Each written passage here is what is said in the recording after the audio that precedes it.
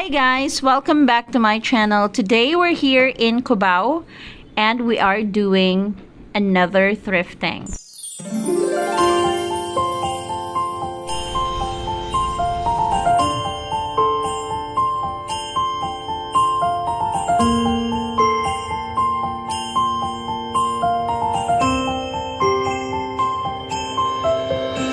So this is the first stop or the first ukay that we visit. Um, it says they're on sale, but when we checked inside, tops still cost 125 pesos. Yung mga denim pants nila cost more than 200 pesos. Tapos meron silang selection that cost 1,700 pesos. Super expensive. And then when I try to check on it, konti lang naman yung magagandang um, denim pants. Most of them are not nice. This bag is actually cute. I'm supposed to get it. Kasi it will cost only or only 280 pesos if ever. But when I check on it, meron siyang flaw. So I leave that behind.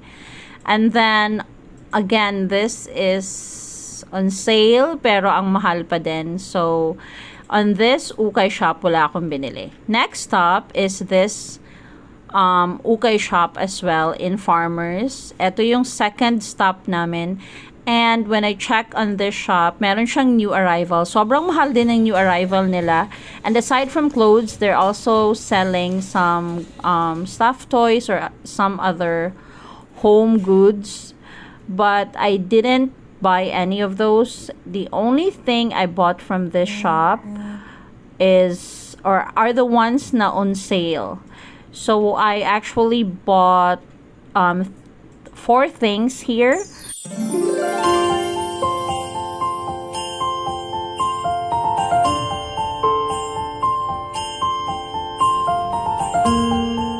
The first item I bought is this denim jacket. This originally cost 300 pesos but it's on 70% off. So that's this cost less than 100. Next item is this high-waisted uh, parang pajama pants. Very good condition. And the second item is this pullover in the black, an excellent condition as well. Third item is also this long na long sleeve na top as well. These are all in great condition and those are part of the 3 for 100. This top, I am supposed to get it, but it's too expensive. It cost 150 pesos. So I leave that behind. I tried to check on their new arrival as in super expensive, but most of them cost more than 200 pesos. So, again, I only bought four items on the shop, and those are the items that I've shown you earlier.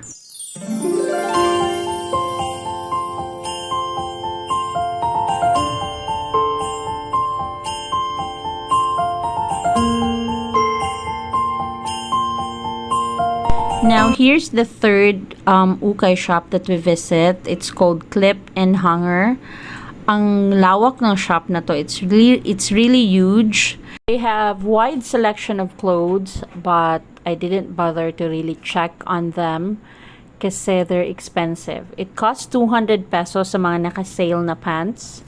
Meron din sila dito mga hats. Ang gaganda actually ng mga mga cups nila or mga hats nila but they look they look brand new and they're in great condition yung mga used items. I don't know if they're original though. Baka hindi. But they look nice. Um, so again, this is in Farmers. Pero mahal po siya. So, in this shop, wala din akong binili. Now, here's the fourth ukay shop that we visit. This is already along our uh, Aurora sa Cubao. Um, I'm excited when I check on it kasi may nakita ako ng 3 for 100 and also 10 pesos each. Um, hindi na rin ako nag-check ng new arrival kasi mahal din siya. But, medyo na-dismaya ako kasi hindi na rin magaganda yung naka-sale. But I was able to purchase three items from the shop and those are the items that I'm showing you.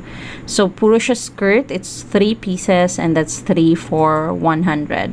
Meron din sila ditong mga bags, fake bags na mga designer bags. Merong mga shoes, may mga boots, and all those good stuff. Um, but this looks like an ukay and Changge at the same time.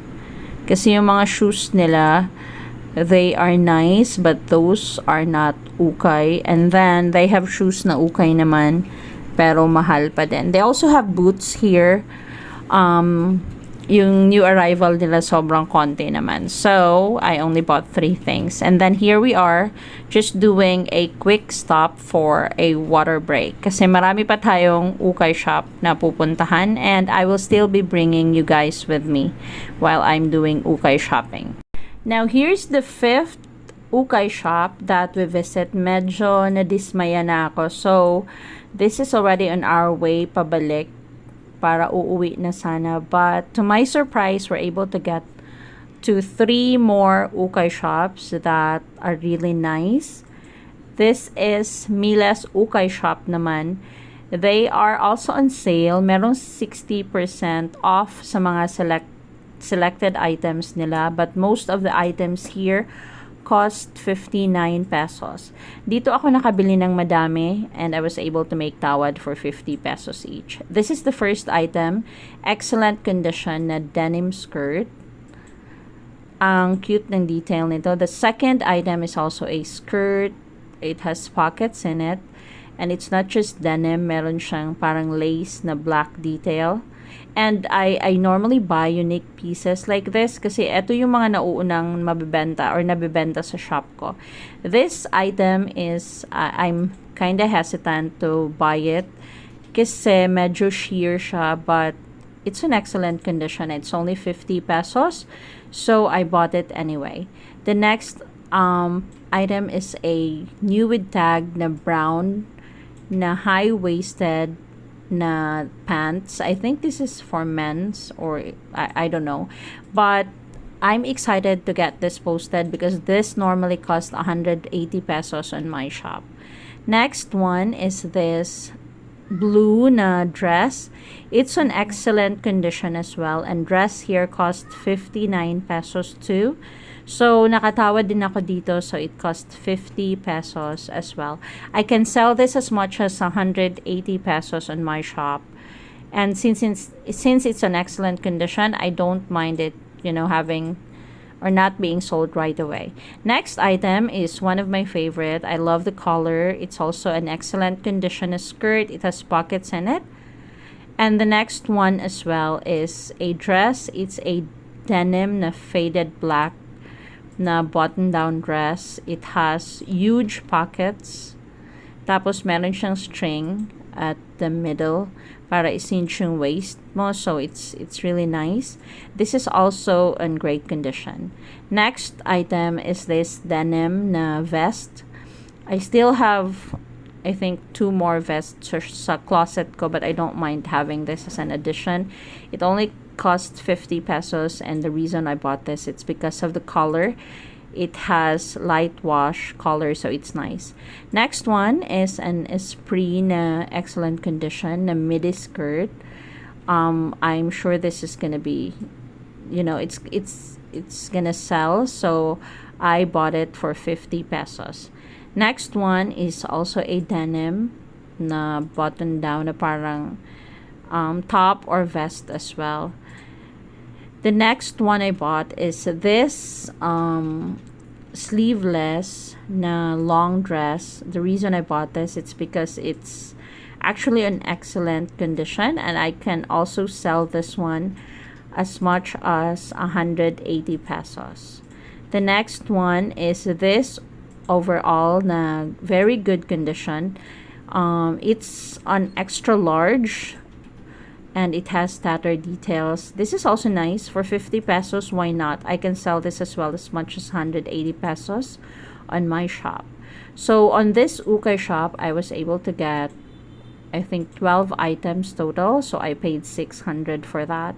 That's to be a good or this so far this is one of the Ukay shops that I like. Kasi dito pa lang ako nakabili ng madaming items and I'm so happy about it. Finally, I'm able to buy a lot of stuff. The next visit or the the last ukay shop that we visit is Flor de Lis. Naka-sale siya at the same time, nag-aayos din sila ng new arrival. Meron lang siyang portion um, na naka-sale ang items. So, I also didn't bother to check sa mga new arrival because again, those are expensive and I'm actually a reseller. So, I'm making sure that I'm buying items as cheap as it as as I can and so I can flip them or I can flip it as much as I can for profit.